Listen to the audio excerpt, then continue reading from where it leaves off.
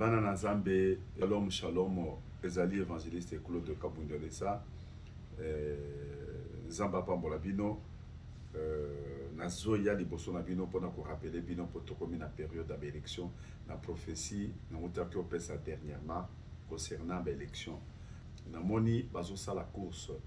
eh, na bacandidat présidentiel nyonso baza na kati ya kosala course de façon que mutu oyo akobima liboso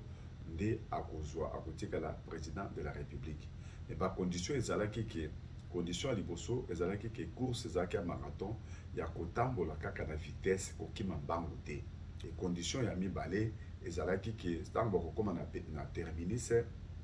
bakokuta nzete moko ya molai balongoli yango bamatambe na baposo me batya yango mafuta bawile yango nzete wana ezalaki nzete molai me au sommet na ya nzete wana batye drapo ya congo moto akokoma liboso akomata na nzete wana mpona komata na nzete akomata kolise akomata na nzete wana soki akomi na likolo nde azwi drapo akiti nango na se ye nde atikali président asali course selon les règles parce que na mokanda ya 2 timothée 2 verset 5 ezoloba ke motu oyo akozala couronne un athlète oyo akozala couronne azali kaka motu oyo akimi selon les règles namoni bamindele babandaki mpe kolanda bamindele balobi osaye oh, do bakreaki deja babongisaki deja mpona bitumba ebima namoni baguerre civile ebimi bamindele basisite bitumba na kati ya congo bitumba ebimi basi baprepare yango bitumba ebimi bato babomani donc desordre esalemi nzambe aye koloba ke kabundi ozomona likambo oyo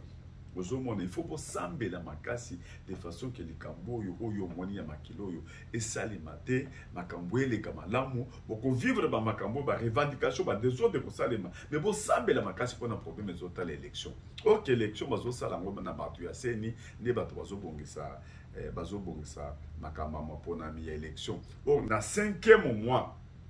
ya année oyo namonaki likambo ya bato ya seni namoni kaka bamindele moko moko wana bafandi na bato ya seni bazosolola masolo basololaki bayebisaki bango basala likambo moko boye bayokani na bato ya seni me ntango eye kokoma sikoyo mpo bato ya seni basala likambo oyo bayokanaki na bamindele bango basali ya ndenge bamindele bayebisaki bango basala te basali ndenge mosusu bamindele basiliki babomi bato ya cni emoni matanga monene bato ya cni bakofi babomi bango na bamindele bamindele basiliki balobi ma eloko toyokanaki na bwi bosali bosali yango te fo kosambela mpe makasi na cni kosambelela mpe cni makasi epui cni bino miyebi peut-être bosalaki liboso olaki na bamindele wana ezaka profesi ngai nazopesa ndenge nzambe alakisaki il faut kosambela makasi de façon ke nzambe asunga bino nazolinga nazonga nsima mpo na koyebisa bino ke nayebi ndenge nzambe ayebisaka nga bamakambo nayebi ndenge nzambe ayebisaka nga bamakambo ezosalema bino nyonso boza temoin na makambo ebele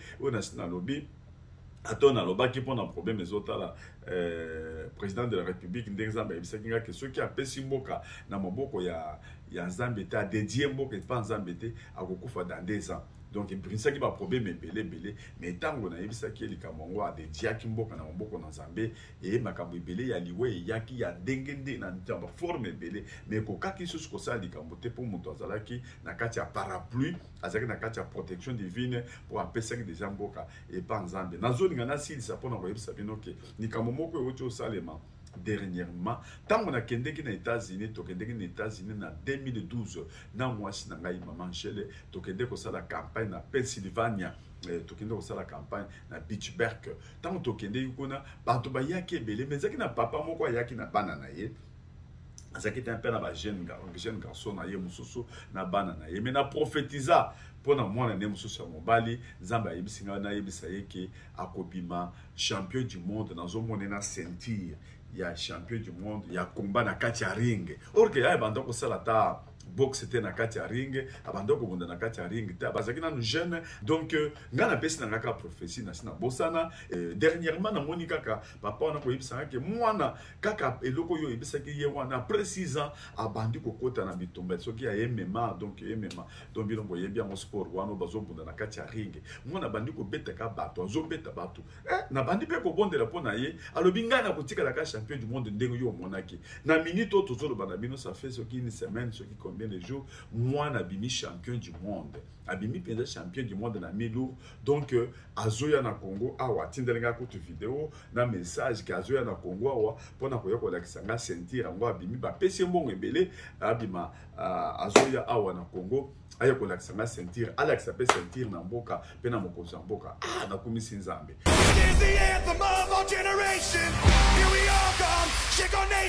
Hello, Evangelist Kabundi Walesa. This is Impa Kasanganai. Uh, I just want to say thank you so much. Uh, years ago, you spoke a prophecy over me.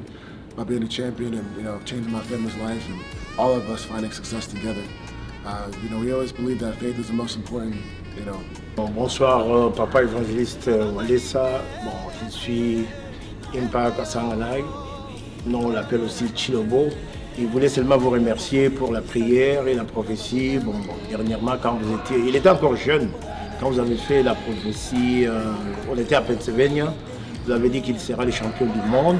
Et voilà maintenant, Dieu ne ment, pas, il a vraiment euh, décroché son titre de championnat du monde, euh, light heavyweight. il y aura des films que vous allez voir, il, vous remercie vraiment pour le support et tout ce que vous avez fait pour lui et pour, pour la famille. Et voilà, nous nous sommes là et azopesa bino mpe merci mingi évangéliste mpo na ndenge osalaka prophétie azalaki na mwana moke oyebi ntango oyaki na pennsylvania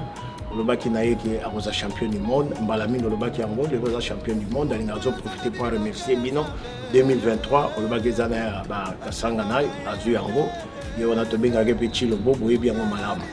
donc yango nde nazolingaka korapele bino ke ndenge namoni ngai moko nazosambela tosi tobandi deja kosambela bapriere ezosalema na bamasina wana tobandi bapriere na kati eglise tobandi bapriere congo mobimba tobandi bapriere tozosambela nde nazo conscientise bino tout le monde na kati ya baeglise na biso na kati ya mboka bisika nyonso ezali ezala na poto partout tosambela mpo na mboka na biso de façon ke bavote oyo eleka malamu nzambe na ngai apambola bino merci